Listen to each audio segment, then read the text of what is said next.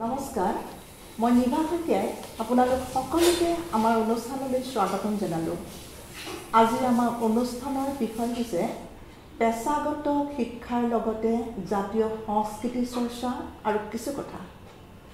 অনুষ্ঠানটোৰ এই বিষয়টো গভীৰভাৱে আলোচনা কৰিবৰ বাবে আমি কাষ্টাত হৈছোহি অসমৰ এজন জনপ্ৰিয় সাংস্কৃতিক জগতৰ এক উজ্জ্বল নক্ষত্ৰ ৰত্ন ওজা ডাঙৰীয়াৰ ওচৰত ছাৰ আপোনাক আমাৰ অনুষ্ঠানলৈ স্বাগতম জনালোঁ। নমস্কাৰ ধন্যবাদ। ছাৰ এজন ব্যক্তিক পেছাগত শিক্ষাতকৈ তেওঁ সাংস্কৃতিক অৱদানেৰে সাংস্কৃতিক চৰ্চাইহে বেছি জনপ্ৰিয় কৰি তোলে। আপোনাৰ ক্ষেত্ৰতো এই কথাটো প্ৰযোজ্য। ছাৰ এই কথাটো আপুনি কেনেদৰে ব্যাখ্যা কৰিব? মই এইটো বৰ একেষাৰে ক'ব নোৱাৰি। কাৰণ মানুহৰ সাংস্কৃতিক দিশত লগত জড়িত থাকে বহুখিনি আমোদ প্ৰমোদ আকৰ্ষণ তাৰপিছত এনেধৰণৰ বহুত কথা থাকে। বিশেষকৈ য'ত সাংস্কৃতিক দিশবোৰতে কঠিন অনুশাসনৰ কথাও আছে। কাৰণ সংস্কৃতিটো একেবাৰে চাৰিওফালে সূচীমতে নিয়াব নোৱাৰি। একেবাৰে বিশেষ বাটেৰে লৈ যাব লাগিব। বিশেষ। আৰু তেতিয়াহ'লে অলপ কঠোৰ শ্ৰম কঠোৰ অনুশাসন এইবিলাক আহে। আৰু তাৰ আনফালে সংস্কৃতিৰ মাজত সংগীত নৃত্য এইবিলাক বহুত সোমাই পৰিছে। আমোদ প্ৰমোদ। এইকাৰণে গতিকে সাংস্কৃতিক দিশৰ মানুহৰ জনপ্ৰিয় হ'বলৈ মানুহৰ মন চুবলৈ মানুহৰ ওচৰ পাবলৈ বৰ দিগদাৰি নালাগে। কিন্তু পেছাগত কাম কৰা মানুহক বৰ কষ্ট হয়। আপোনাৰ নাম্বাৰ হয় পেছাগত শব্দটোৰ লগতে এইটো তুমি যিটো কৈছা পেছাগত শব্দটোৰ লগত এটা মানুহৰ হেৰি আহে কি ব্যৱসায়িক কথা এটা। ব্যৱসায়িক কথা যেতিয়া আহে তেতিয়া নানা সন্দেহ আহে। আজি নহয়। আজি যে বৰ্তমান যুগত ব্যৱসায়িক মানুহে সন্দেহ কৰে সেই তাহানিৰ পৰাই এইটো চলি আছে। কাৰণ তাতে ব্যৱসায়ীয়ে লাভ ল'ব হেৰি ল'ব তাৰপিছত কিছু ভেজাল তেজালৰ কথাও আহিব পাৰে এনেকুৱা গতিকে সেই দিশটোত মানুহৰ বিশ্বাস আনা মানুহক কনভিনচিং ৱেত কামবিলাক কৰোৱা এইবিলাক অকণমান দিগদাৰ ব্যৱসায়িক দিশত। কিন্তু সাংস্কৃতিক দিশ যিটো যিটো মানে এণ্টাৰটেইনমেণ্টৰ দিশ এই দিশত কিন্তু সহজে আকৰ্ষণ হ'ব পাৰে কাৰণ নৃত্য গীত চব থাকে। যদিও তাতো বিশেষ অনুশাসনৰ কথা আছে যথেষ্ট আছে নোহোৱা নহয়। আজিয়ে তোমালোকৰ যিটো বিশ্ববিদ্যালয় য'ত শিক্ষা দিয়া হয় এই শিক্ষাত আমোদ প্ৰমোদৰ শিক্ষাও হ'ব পাৰে সাংস্কৃতিকৰ ফালটো হ'ব পাৰে সেইটো হয়েই আৰু মানে দুষ্কৃতি বিনাশৰটোও হ'ব পাৰে দুয়োটাই হয়। সেইকাৰণে সেইটোতকৈ এইটোৰ অলপ টান এইখিনি কথা। ছাৰ তাৰ মাজতে আপোনাক মই সোধোঁ আপুনি ক'লে বিশেষ বাটেৰে লৈ যাব লাগিব। এই বিশেষ বাটেৰে লৈ যাবলৈ গ'লে এই ঘৰখনৰ পিতৃ মাতৃ বা ঘৰৰ পৰিয়ালৰ সভ্যসকলৰ ভূমিকাটো কেনেকুৱা হ'ব লাগে?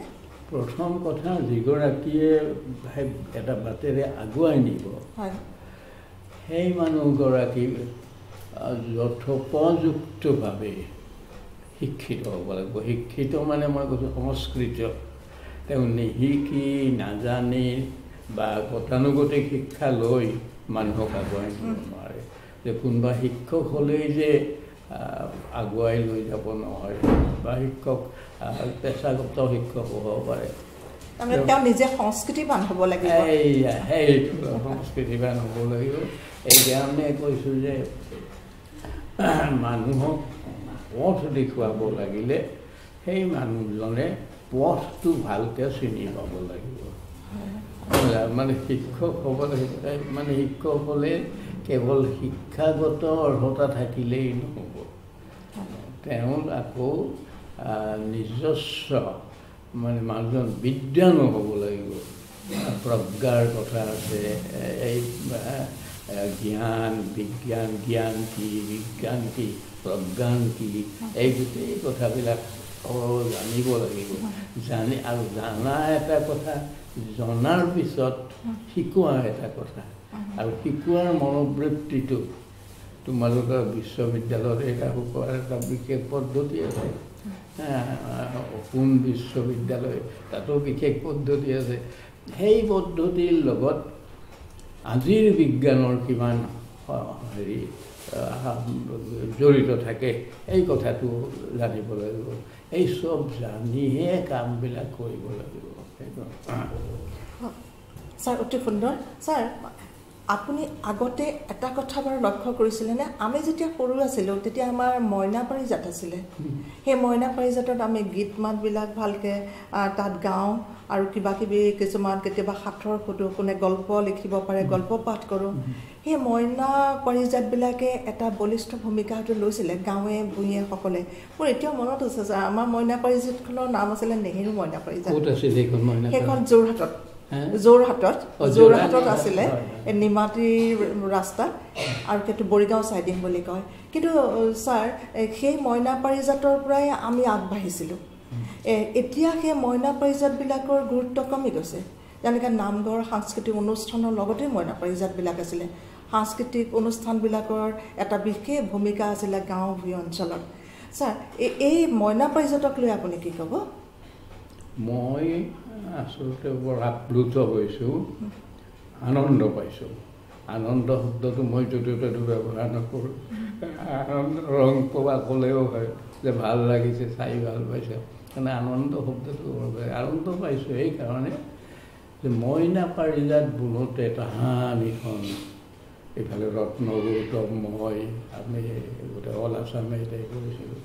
সিফালে নলিনীবালা দেৱী এই জোৰ পুখুৰীৰ পাৰতে তেওঁৰ ঘৰ তাতেই আমি অফিচটো কৰোঁ তাতেই কৰোঁ তেতিয়া দেখিছোঁ এই শিশুসকলক প্ৰয়োজনীয় শিক্ষা মই শব্দটো কৰোঁতে যে এনেকৈ ক'লে নহ'ব প্ৰয়োজনীয় শিক্ষা দিয়াৰ বাট দেখাওঁতা মহাদেৱ শৰ্মা তেজপুৰৰ মূল মানুহ এইবিলাক এই লৈ গোটেইখিনি আছিল। সেইকাৰণে মই কৈছোঁ যে মইনা পাৰিজাতৰ কথাটো শুনি মই আনন্দ পাইছোঁ। আৰু আনন্দটোৱে হৈছে সুখ এই পোৱাৰ ভাল প্ৰকাশ। আনন্দ শব্দটোৱে। হৈছে ভাল প্ৰকাশ।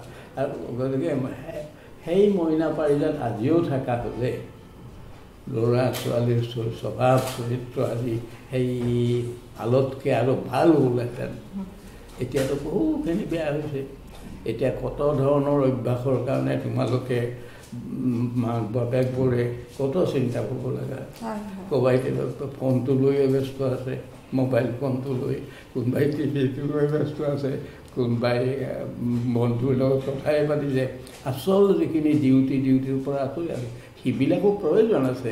কিন্তু এই মইনা পাৰিজাত থকা হ'লে কোন সময়ত নাচিব লাগে কি নাই? আজি এতিয়াৰ বহুতো শিল্পী বা আমি আমি এইবিলাক মইনা পাৰিজাতৰ সৃষ্টি। এইটো সেইটো সকলে কোনোবাই যদি মইনা পাৰিজাত এতিয়াও য'ত য'ত ব্ৰাঞ্চ খোলা আছে তেওঁলোকে ভালকৈ চলাব লাগে। য'ত খোলা নাই আকৌ খুলিব লাগে। মই আবেদন জনাইছোঁ তোমালোকৰ অনুষ্ঠানৰ মাধ্যমেৰে। যিহেতু বৰ প্ৰয়োজনীয় কথা তুমি প্ৰতিটো তুমি কৰ তুমি যিটো যিখন বিশ্ববিদ্যালয়ত সেৱা আগবঢ়াইছা। এইটো বুজা যায় যে এই ভাল বিশ্ববিদ্যালয়ৰ প্ৰপাৰ শিক্ষা আছে। তুমি প্ৰত্যেক প্ৰত্যেকটো শব্দ প্ৰত্যেকষাৰ কথা তুমি জুখি মাখি কৈছা মই বৰ ভাল পাইছোঁ। গতিকে মইনা পাৰিজাত আমাৰ তাহানিৰ বেদ উপনিষদ এই শিক্ষাৰ তাহানিৰ সত্ৰৰ শিক্ষাৰ এইবিলাকৰ এই- মই জ্ঞান কৰোঁ। অতি সুন্দৰ ব্যাখ্যা ছাৰ। ইমান সুন্দৰ। ছাৰ কেতিয়াবা আপুনি এতিয়া মোবাইল ফোনৰ কথা ক'লে আজিকালি এইটো কিছুমানৰ ক্ষেত্ৰত এইটো আশীৰ্বাদ কিছুমানৰ ক্ষেত্ৰত অভিশাপ হৈছে। ধৰি লওক মোবাইল ফোনটো ব্যৱহাৰ কৰি অসমীয়া গীত মাতবিলাক শুনিব পাৰে। তাত আজিকালি আপোনাৰো কিছুমান বস্তু থাকিব পাৰে ভূপেন হাজৰিকা সুধাকান্ত এনেকৈ গীত মাতবিলাক আছে। সেইটো চাই চাই চৰ্চা কৰিব পাৰে। কিন্তু তাকে নকৰি যদি হোৱাটছআপ বা ফেচবুক এনেকুৱা বিভিন্ন ধৰণৰ সময়ে অসময়ে কৰে সেইটো এটা বেয়া কথা নহয় জানো মোৰ কথা হৈছে চোৱা তুমি আমি চবেই জানো যে আমাৰ এই পৃথিৱীৰ বা এই বিশ্বৰ বা এই আমাৰ ব্ৰহ্মাণ্ডৰ যিটো কওঁ যাৰ ভকতীয়া ভাষা এই ব্ৰহ্মাণ্ড ক'ব বা পৃথিৱী ক'ব প্ৰতি ধূলিকণা প্ৰতি দুবৰি। য'ত সকলোখিনি অতি প্ৰয়োজন এই নিজা নিজা দেহৰ প্ৰতিটা নোমেই আমাক প্ৰয়োজনীয় কোনো প্ৰয়োজনীয় নহয় নহয় জানো? গতিকে এইবিলাক বুজাব লাগিলে সেইকাৰণে আমি এতিয়া আমি বহুত ক্ষেত্ৰত মই নিজেও কিমানত আছোঁ মই নাজানো বহুত ক্ষেত্ৰই জ্ঞানৰ সীমালৈ আহোঁ প্ৰজ্ঞানলৈ নাযাওঁৱেই। গতিকে এই কথাবিলাক চাব লাগিব। সেইকাৰণে যি- যিটো জ্ঞানেৰে অনুপৰ মানুহ হৈ কাৰ আশাৰে নুবুৰে ভূপেন হাজৰিকাৰ সেইটো সেইটো কথাৰ মৰ্ম বুজাওঁ। অনুপৰ মানুহ হৈ কাৰ আশাৰে নুবুৰে সেই অৰ্থ বুজালৈ জ্ঞান আনিব লাগিব। ঠিক তেনেকৈ শংকৰদেৱৰ বৰগীত যাতে উপলব্ধি কৰিব পাৰে কেৱল বুজিবলৈ নহয়। আমাৰ জাৰি জিকিৰ এইবিলাক যাতে শুনি কেৱল এনজয় নহয় উপলব্ধি কৰিব পাৰে। ঠিক তেনেকৈ এই যিটো মোবাইলটো ল'ব মোবাইলটো আমাক কিয় লাগে? সেই জ্ঞানটো প্ৰথম আৰ্জিব লাগিব মাক বাপেকে দিব লাগিব কিয় নালাগিব? মোবাইলটো মোবাইলটোৰ জৰিয়তেই এ, বহুত জ্ঞানৰ আদান প্ৰদান চলি আছে। চলি থাকিব। বিনা মোবাইল মোবাইলটো আৰু ভাল বস্তু লাগিব লাহে লাহে। আৰু ইয়াতকৈ আৰু শক্তিশালী বস্তু লাগিব। গতিকে সেইবিলাক সুন্দৰভাৱে জানি লৈ কামত আগবাঢ়িব লাগে। যে মোবাইলটো কাৰোবাৰ কোনোবা প্ৰফেশ্যনেল মানুহৰ কাৰণে যিটো গান শুনাৰ আহিলা কাৰোবাৰ কাৰোবাৰ কাৰণে বক্তৃতা শুনাৰ আহিলা কাৰোবাৰ কাৰণে গল্প শুনাৰ আহিলা কাৰোবাৰ কাৰণে বন্ধুৰ লগত বন্ধুৰ কথা পতাৰ আহিলা কোনোটোৱে তুমি নাশ কৰিব নোৱাৰা। এই বিশ্বত সকলো বস্তুকেই সকলোকে এটা নহয় এটা মুহূৰ্তত লাগে। ছাৰ আজি এটা কথা আপুনি মন কৰিছেনে ছাৰ? আজিকালি আজিকালি জাতীয় সংস্কৃতিৰ প্ৰতি এচাম অসমীয়া যেন অনীহা হৈছে তেওঁলোকে যেন পশ্চিমীয়া সংস্কৃতিক আঁকোৱালি ল'বলৈ গৈছে। অসমীয়া জাতীয় সংস্কৃতিক অকণ অৱহেলা কৰা যেন লাগে এচাম অসমীয়াই। তেওঁলোকৰ কাৰণে আপুনি কি ক'ব? এইটো বিষয় আচলতে আমাৰ মই মোক নিজকে বৰ অবুজ মানুহ বুলি নাভাবোঁ।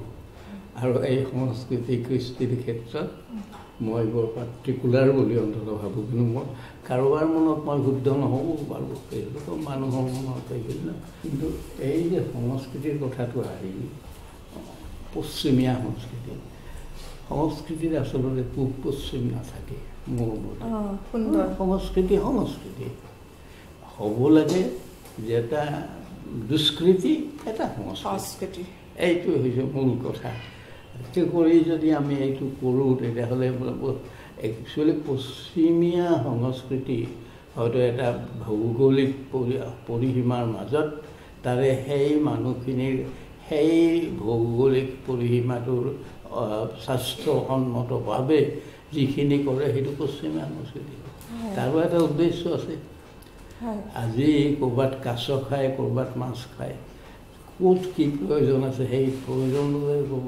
সেই বুলি যে এইটো কাছ খোৱা সংস্কৃতি দুষ্কৃতি মাছ খোৱা সংস্কৃতিটো সংস্কৃতি এইটো হ'ব নোৱাৰে। গতিকে মই সেইটো বিষয়ে আলোচনা কৰিব লাগিলে যথেষ্ট কৰিব লাগিব।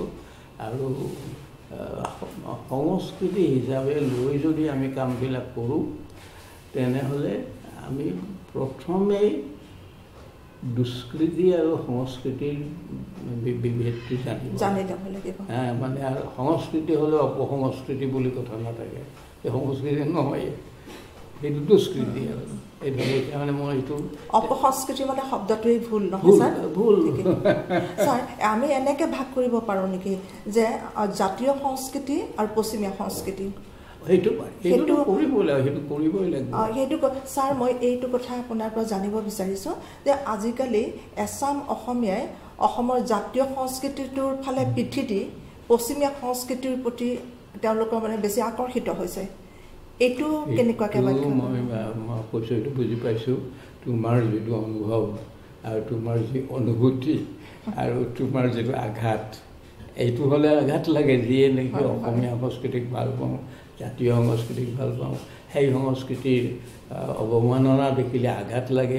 লগতে যি মানুহে কৰে সেই মানুহখিনিৰ প্ৰতি পুতৌ উপজে। অন্যায় তেওঁলোকৰ হয়। আৰু সেই অন্যায়ৰ লগত যিখিনি বায়ু প্ৰদূষিত হয় তাৰ কাৰণে গোটেই জাতিটোৰো অন্যায় হয়। জাতি গতিকে আমাক কিয় বা আমাৰ সংস্কৃতি সংৰক্ষিত হ'ব লাগে সুন্দৰভাৱে গ্ৰহণ কৰি আগবাঢ়িব লাগে। যিহেতু আমাৰ এটা জাতি আগবাঢ়োতে লগে ভাগে আগবাঢ়িব লাগিব। কোনোবা দুটা আগবাঢ়িব কোনোবা পিছ কৰিব সেইটো নহয়। সেইবিলাক কথা ভাবি আমি এই কামত আগবাঢ়িব লাগিব। আৰু তুমি যিটো ক'লা য'ৰ পৰা মই আনৰ ফালে গ'লোঁ সেইটো হ'ল যে এই যে জাতীয় সংস্কৃতি বা আমি আমাৰ সংস্কৃতি সভ্যতা কৃষ্টি এই যিখিনি কৈছোঁ যে আমাৰ আপোন সংস্কৃতিখিনি ৰাখিব লাগে। সিটোৰ লগত গোটেই জাতিটোৱেই নহয় সেই সময়ৰ বাতাবৰণ আৰু গোটেই বিশ্বৰ চবৰ ডিপেণ্ড আজি যদি অসমীয়া সংস্কৃতি আমি ঠিকমতে নাৰাখোঁ কালি বাংলা সংস্কৃতিও ঠিক নকৰোঁ ইয়াত প্ৰদূষণ যাব নহয় তালৈ। হা, কালি বাংলা সংস্কৃতি নহয় উৰিয়াতো পৰিব। ভাৰতৰ বাহিৰতো পৰিব। সেইকাৰণে আমাৰ বেদত প্ৰথমেই কোৱা আছে যে বিশ্বৰ চাৰিওফালৰ য'তেই সূচী বায়ু আছে য'তেই সূচী বায়ু আছে সেই বায়ু। আহিবলৈ দুৱাৰ খিৰিকী প্ৰত্যেক ঘৰৰ খুলি ৰাখা আহিব লাগিলে বিশ্বৰ সকলোৰে আহিব লাগিব? যাব লাগিলে সেই বিশ্বৰ সকলোকে। লাগিব। এই বহুত কথা আপোনাক আমি আমাৰ তুমি যিটোৰ কাৰণে তোমাৰ মনে কান্দিছে অসমীয়া সংস্কৃতি বা ভাৰতীয় সংস্কৃতিৰ কাৰণে এইটো বৰ ভাল মিনিংফুল আমাৰ অসমীয়া সংস্কৃতি ইমান ফালেৰে চব ফালেৰে প- ইমান পবিত্ৰ আৰু ইমান আনৰ মংগল কামনা কৰে বা আমাৰ ভাৰতীয় সংস্কৃতি ইমান পবিত্ৰ সকলোৰে মংগল কামনা গতিকে সেইখিনিৰ কথাৰ কাৰণে যদি কোনোবাই ভাৰতীয় সংস্কৃতি নামানে অসমীয়া সংস্কৃতি নামানে ও মোৰ আপোনাৰ দেশ গাব নোৱাৰে সেইটো আমাৰ তেতিয়া আঘাত লাগে। এনে ও মোৰ আপোনাৰ দেশ বোলোতেই যেন মনটোচ্চাৰিত হ'ল শুদ্ধ হ'ল বতাহ এনে লাগে এইবিলাক বা আমাৰ কি কয় সেইটো আহিলে বন্দে মাতৰম আহিলে আমাৰ যে গোটেই ভাৰতীয় বতাহখিনি শুদ্ধ হ'ল তেনে লাগে এইবিলাক কাৰণতেই প্ৰথম সংস্কৃতি সংস্কৃতি হ'ব লাগে তাত দুষ্কৃতি থাকিব নালাগে। আৰু এইবিলাক কাৰণতে যি মানুহে আপোন সংস্কৃতিৰ বাবে আপোন দেশৰ বাবে আপোন জনমভূমিৰ কাৰণে আপোনভাৱে চিন্তা কৰে সেইবিলাক মানুহ ঈশ্বৰ সদৃশ। গতিকে এই কথাবিলাক মনত ৰাখি আমি আগবাঢ়িব লাগে। ছাৰ অসমৰ এই জাতীয় সংস্কৃতিটো এইটো বাৰু একেবাৰে অতুলনীয় নহয়নে মই কাৰো লগত তুলনা কৰিব নোৱাৰোঁ। অসমৰ জাতীয় সংস্কৃতি যিটো ইয়াত মানে দিনটোৰ প্ৰতিটো সময়ৰ গীত আছে। যেনেকৈ পুৱাৰ গীত নিচুকনি গীত আবেলিৰ গীত গধূলিৰ গীত নহয় জানো? আকৌ ঋতুৰ গীত উৎসৱসমূহৰ গীত বিয়ানাম আইনাম তাৰপিছত আকৌ বিয়া সবাহ এইবিলাক ঘৰত নাম কীৰ্তন কৰিলে যিবিলাক ভাগৱত পাঠ কৰা হয় বিভিন্ন সময়ৰ বিভিন্ন প্ৰহৰৰ বিভিন্ন ঋতুৰ আমাৰ গীত আছে। গতিকে বাৰে বৰণীয়া আমাৰ এই সংস্কৃতি আৰু ইমান চহকী নহয় জানো? মানে আচৰিত লাগে। মই বেলেগৰ লগত দেখোন তুলনা কৰিবলৈ নাপাওঁৱেই নহয়? এইটো এইটো তোমাৰ যিটো অনুভৱ যিটো উপলব্ধি এইটো মানে তোমাৰ উপলব্ধিৰ কাৰণে তুমিও গৌৰৱ কৰিব পাৰা আৰু গোটেই অসমীয়া জাতিয়ে গৌৰৱ কৰিব অসমীয়া মানুহৰেই স্বভাৱ এইটো যে গভীৰভাৱে উপলব্ধি কৰা যে আমি জাতিটো কি আমাৰ কি আছে এইবিলাক বৰ ডাঙৰ কথা। এইটো গোটেই জাতীয়ভাৱে যদি সেইটো নাথাকিব অকল তোমাৰ তাত আহিব নোৱাৰে। হয় নহয়? নিশ্চয়, এইটো বৰ। ডাঙৰ ডাঙৰ কথা আৰু আমাৰ জাতিৰ কাৰণে গৌৰৱ যে আমাৰ এনেকৈ নিভা এতিয়াই এনেকৈ অনুভৱ কৰিছে। এই এনে ধৰণৰ কথাবিলাক আমি ভাবিব লাগিব তেনেকৈ নহ'লে। ছাৰ এটা কথা মই এইটোত আচৰিত হওঁ আৰু এইটো আপোনাৰ গোটেইখিনি অধ্যয়ন কৰি আপোনাৰ সাংস্কৃতিক যিখন ক্ষেত্ৰ আপুনি যিমানবোৰ কৰিলে তাক অধ্যয়ন কৰি মই এটা কথা নিশ্চিত হৈছোঁ যে সংস্কৃতি চৰ্চা কৰিবলৈ টকাৰ প্ৰয়োজন নাই অৰ্থৰ প্ৰয়োজন নাই। উদাহৰণটো আপোনাক দিব পাৰি আপুনি এটা সময়ত বৰ দৰিদ্ৰ আছিলে। আপুনি যেতিয়া বৰপেটাত আছিলে। সুন্দৰদিয়া সত্ৰত আপুনি তেতিয়া পুথিভঁৰাল এটাত আপুনি চাকি জ্বলাইছিলে। সেই সময়ৰ পৰা আপুনি পঞ্চমমান শ্ৰেণীত আছিলে। চতুৰ্থ পঞ্চম এনেকুৱা সময়ৰ পৰাই আপুনি সাহিত্য চৰ্চাত হাত দিছে। যিটো দুটকা পইচাৰে আপুনি ককাই ভাই দুইজনে চলিছিলে।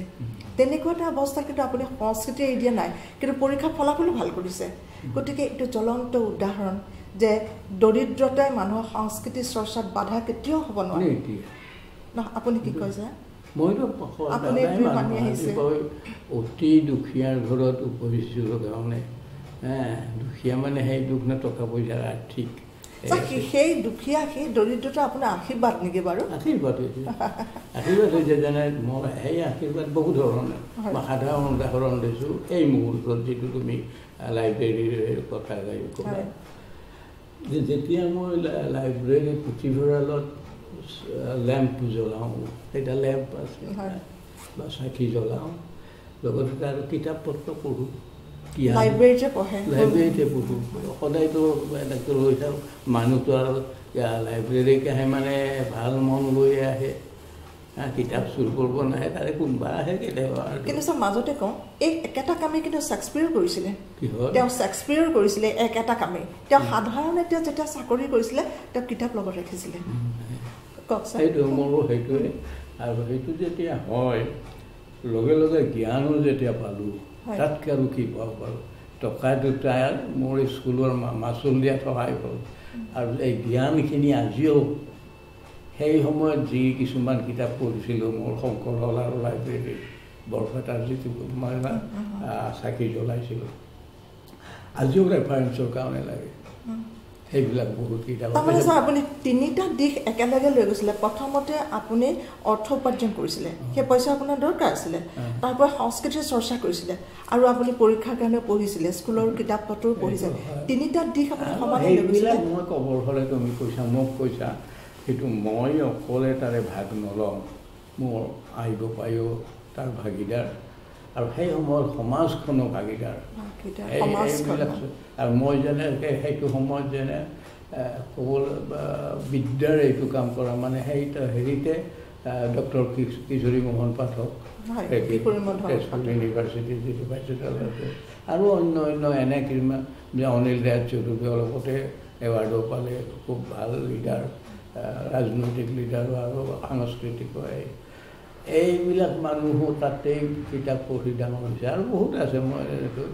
গতিকে এইবিলাক হেৰিৰ লগত আমাৰ সৌহাৰ্দ্য এটা গঢ়ি উঠেহে তেনেধৰণৰ মানুহৰ লগত ভিতৰে ভিতৰে। দৰিদ্ৰতাই ছাৰ সাংস্কৃতিক চৰ্চাত বাধাৰ সৃষ্টি হ'ব নোৱাৰে। তাৰ উদাহৰণ আপুনি। আপুনি সৰু অৱস্থাত শৈশৱৰ পৰা আপুনি সাহিত্য চৰ্চা কৰিছে। আপুনি পঞ্চমমান শ্ৰেণীত পঢ়ি থাকোঁতেই আপুনি জিলা পুথিভঁৰালত গৈ পেলাই চাকি জ্বলাইছিলে। তাৰ বিনিময়ত দুটকা পাইছিলে। সেই অৰ্থই আপোনাক কামত লগাইছিলে।